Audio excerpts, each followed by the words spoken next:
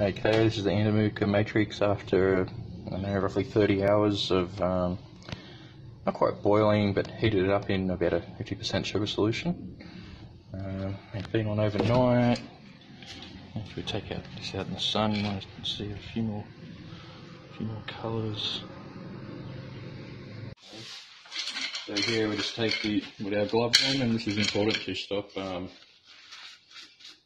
oil your fingers from going into the stone, because it will stop the uh, the absorption of the sugar and the acid and can cause fingerprints and just uneven treatment.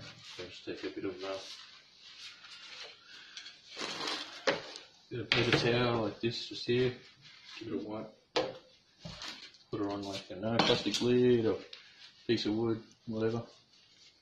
And later on we'll um, just put those in the sun and let them dry for you know, 48 hours or so, and you'll end up with uh, something like this. And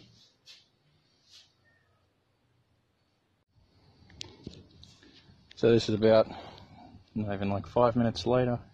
As you can see, everything's turned black. Um, yeah. Just, you know, a bit of a mask and goggles, safety gear, all that sort of stuff. So, you know, 98% sulfuric acid.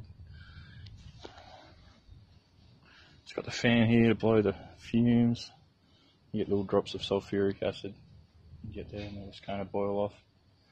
Pan should be right there. Pair of copper tongs. Little beaker over there for later to put the acid in. Yeah.